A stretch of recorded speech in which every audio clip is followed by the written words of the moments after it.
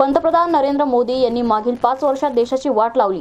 आता यापुढेही ते तेच प्रकार करणार आहेत. त्यामुळे त्यांच्याकडून आणखी काय अपेक्षा करणार असा सवाल वंचित बहुजन आघाडीचे अध्यक्ष डॉक्टर प्रकाश आंबेडकर यांनी केलाय.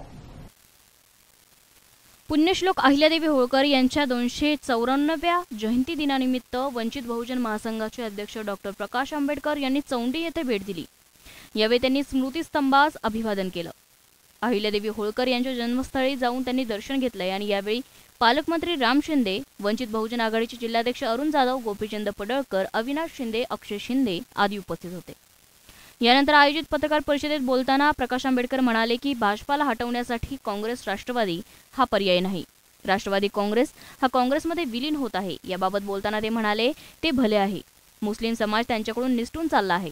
त्यांनी मुस्लिम समाजाचा फक्त मतासाठी वापर केला आहे आणि त्यांच्यासाठी काही केलं नाही. त्यामुळे ते आता वंचित आघाडीकडे आकर्षित होत आहेत. लोकसभेतील पराभवानंतर काँग्रेस राष्ट्रवादीने विधानसभा निवडणुकीसाठी तुम्हाला प्रस्ताव दिला आहे का? त्यांच्याकडून तसा प्रस्ताव आला नाही. वृत्तपत्र आणि न्यूज चॅनलमध्ये तशी चर्चा चालू आहे. त्यांच्याकडे जायचे कशासाठी? वंचितासाठी काय अजेंडा त्यांच्याकडे आहे? तो अजेंडा असल्याशिवाय काही शक्य नाही. भाजप सेना आणि काँग्रेस राष्ट्रवादीला पर्याय म्हणून वंचित बहुजन आघाडी हा पर्याय तयार झाला आहे. त्यामुळे आम्ही ठाम आहोत. असं त्यांनी यावेळी सांगितलंय. म्हणेन की शासनाला पहिल्यांदा ठरवता आलं पाहिजे की आपला इतिहास काय आहे. शासनाला पहिल्यांदा हे ठरवता आलं पाहिजे की आपल्याला पुढच्या पिढीला काय हँडओव्हर करायचं आहे.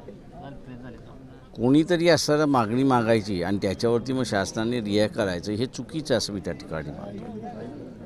पन्नास साली आपला असणारा देश स्वातंत्र्य झाला. त्याच्या अगोदर तो गुलाम होता.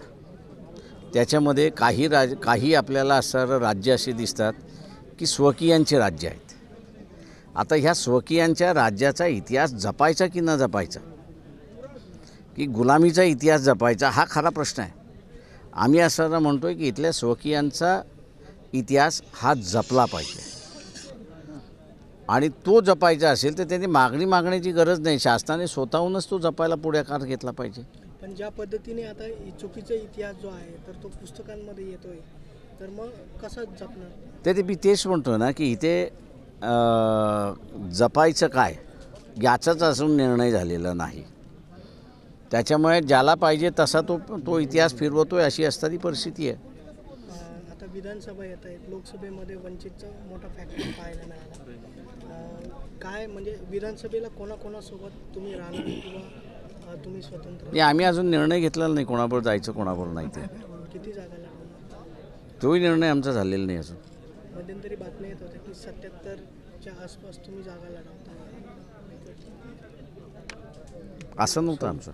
काँग्रेस राष्ट्रवादीचं विलिनीकरणाची चर्चा चालू आहे. वंचित बहुजन आघाडीला कुठंतरी घाबरायचा प्रयत्न चालू आहे जे माझं माझं वे वेगळंच मत आहे त्याच्यावरती. मागच्या निवडणुकीमध्ये मुस्लिमांनी काँग्रेस आणि राष्ट्रवादीला मतदान दिलं. आणि तरीही सेना बी जे पीला हरवू शकले नाहीत. महाराष्ट्रामध्ये एकाच मतदारसंघामध्ये वंचित आणि मुस्लिम एकत्र गेले आणि त्याच एका उमेदवाराला मतदान दिलं तो निवडून आला. त्याच्यामुळे मुस्लिम समाजाचा असणारा फार मोठ्या प्रमाणात ही चर्चा सुरुवात झाली आहे की वंचितांबरोबर आपण गेलो तर बी जे पीला आणि सेनेला आपण हरवू शकतो. ही त्यांच्यातली चर्चा सुरुवात झालेली आहे. तेव्हा काँग्रेसची ही धडपड चाललेली आहे की काही करून काही करून आम्ही एकत्र येतो आहोत विलिनीकरण करतो आहोत मुसलमानांनी आम्हाला त्याग करू नये असं दाखवण्याचा प्रयत्न चालला आहे असं मी म्हणेन. राष्ट्रवादी काँग्रेस होणार आहे वंचित बहुजन आघाडीची काय भूमिका राहणार आहे आम्ही सांगू ना बैठक घेऊन आम्ही सांगतो ना काय. कोणी कोण कुठे जातं ह्याचं प्रत्येकाचं स्वातंत्र्य आहे. तेव्हा आम्ही आमचा निर्णय घेऊ आणि आम्ही कुठे कोण काय करणार आणि काय भूमिका असणार हे आम्ही सांगतो ना. रामदास आठवले परत मंत्री झाले. स्वागत आहे. आम्ही स्वागत ज्या जे जो जो मंत्री झाला त्या सगळ्यांचं आम्ही स्वागत करतो. आरक्षणाच्या मुद्द्यावर तुम्ही कशा पद्धतीने पाहता? काल सुप्रीम कोर्टाने मराठ्यांच्या आरक्षणासंदर्भात स्थगिती दिली पोस्ट ग्रॅज्युएटच्या संदर्भात. तर काय तुम्हाला काय वाटतं की शासनाचं हे धोरण कशा पद्धतीने शासन ही जे आहे हे कुठल्याही प्रश्नाशी प्रामाणिक नाही. ते फक्त दिखावा करतं राजकारण करतं. लोकसभेच्या निवडणुकीमध्ये मतं मिळाली पाहिजेत म्हणून मराठ्यांचं असणारं आरक्षण त्या ठिकाणी केलं. आता कोर्टामार्फत रद्द केलं. विधानसभेच्या निवडणुका आहेत. ऑर्डिनन्समार्फत पुन्हा मिळवून घेण्याचा प्रयत्न चाललेला आहे. तेव्हा हे मराठा आरक्षण हे राजकारणाच्या पलीकडे काही जात नाही अशी असणारी परिस्थिती आहे.